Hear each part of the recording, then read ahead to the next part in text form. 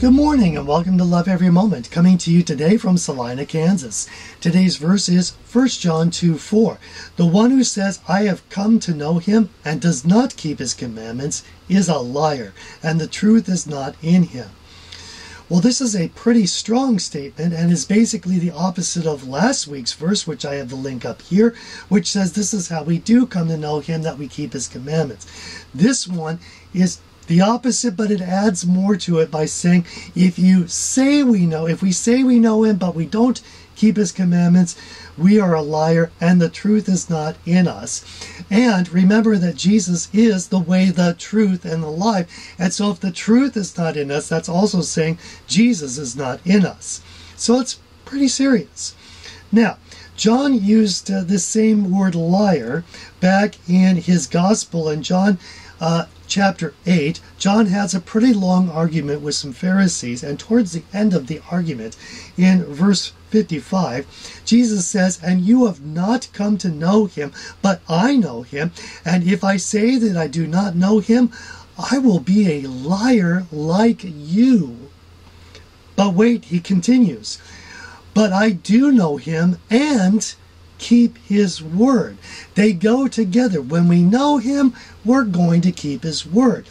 It's hand in hand, it's a natural cause and effect. Now remember, these Pharisees kept a whole bunch of commandments, right down to the nitty gritty, but they didn't keep his will.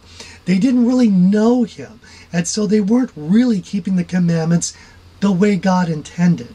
So we really have to know him. Now back to our main verse. So uh, remember that last week I took us to an interesting parable of the ten virgins and showed how they really needed to know the expectation of the bridegroom. Now let's look at the next one, which is the parable of the talents.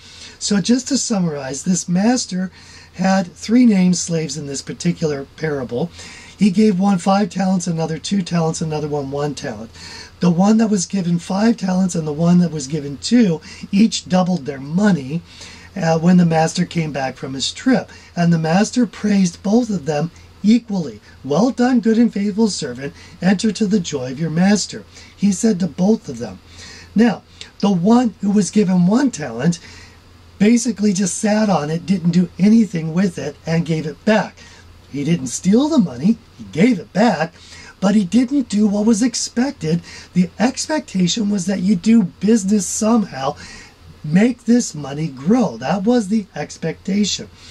Then in verse, oh, where is it here? 26, his master answered and said to him, You wicked, lazy slave, you knew that I reap where I did not sow and gather where I scattered no seed. Then you ought to have put my money in the bank, and on my arrival I would have received my money back with interest. The master didn't say exactly, this is exactly what to do with the money. The, the expectation was general do business with this, make it grow. And this slave did not do even the least amount to make that money grow. So he really didn't know his master well enough. He should have. He's a slave, and he should know that uh, he needed to do business with it. One thing to take out of this is this was a general expectation and not a really specific step by step instruction. Sometimes the Lord gives us commandments that are general, and how we fulfill His will, He leads us up leaves it up to us. For example, the Lord might say, I want you to go show love to that person, but may leave it up to us to figure out how to do that. If we don't know, He'll help us. So, back to our main verse, the whole idea that John wants us to do is a little self reflection. Am I keeping His commandments? And if not, there's something wrong with my love relationship. So if I have that love relationship, I should notice hey, I'm loving more than I ever used to. My potty mouth is cleaning up and other things. So let's choose to love Him because if we love every moment, we're gonna love every moment. I'm your average wretch, and I hope you have a great week.